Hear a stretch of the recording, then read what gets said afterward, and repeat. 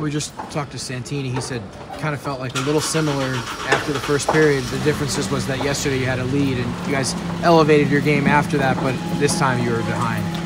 Uh, yeah, exactly. It's uh, exactly like that. Uh, yesterday we scored. Today we didn't have a power play. We just we were slow. We were behind. Um, didn't stick with our plan, and uh, and then um, trickled through the first and the second, and and it uh, took us a long, long time to figure it out.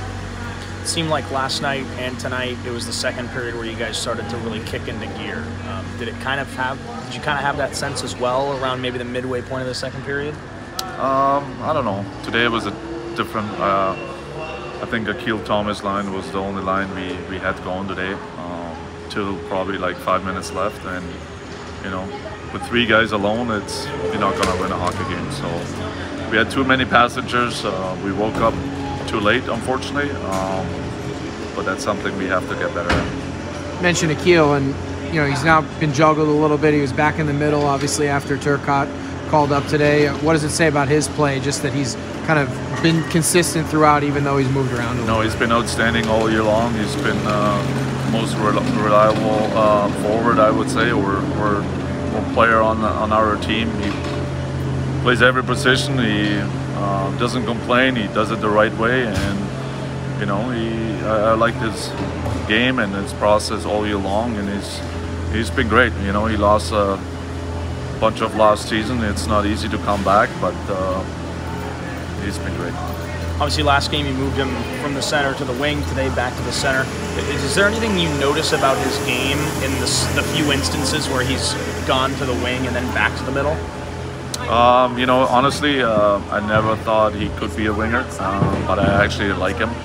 Um, I, I, feel like he he, he uh, has more speed this year. Um, you know, he's we had the talk before. He's being Akil Thomas and nothing else. I don't need him to be someone else, uh, and I think he he noticed that. And uh, I think before he he thought he had to do more, but no, um, he's concentrating more on his game, and that's why I think he has more success you know, these last couple of years, there's been the guys like Killer and, and, and Turks and Sammy Fagemo, and you've mentioned that those guys too have started to just play like themselves and be themselves. You know, what does it say about some of these guys that have been here for a few years that this season, not just are they logging more games than ever before, but they're starting to show up on the score sheet even more than before? Yeah, no, it takes time, and um, you know, you can see the the Chromiaks, and you can see some other guys too. It, it's. Uh, you know, unfortunately, uh, it takes time, like I said, and uh,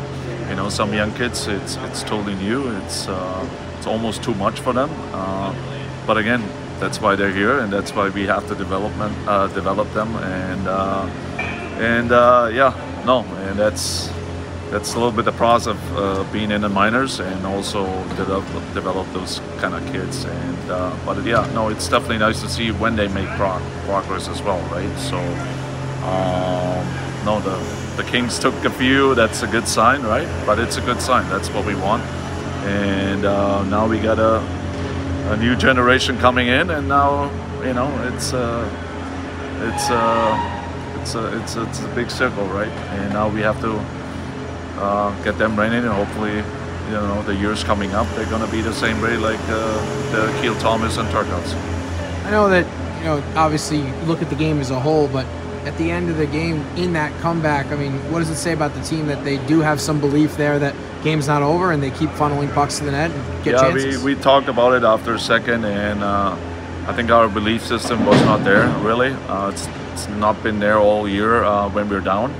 Um, but you know what? It's hockey. Anything can happen, and I don't care if it's three, four, five goals. Uh, anything can happen, and you could see today almost almost happened, but you see it every day in the league. Uh, it doesn't matter which league, which country you're in. Um, it happens all the time. So it just you got to believe, and you got to play the right way, and he got to stick with it 60 minutes.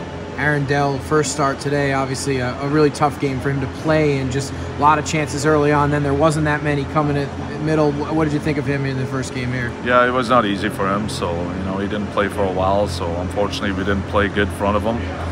Um, but he's going to get another crack out of it. I think he's a good goalie, and he just needs a few more reps. That's all. Okay.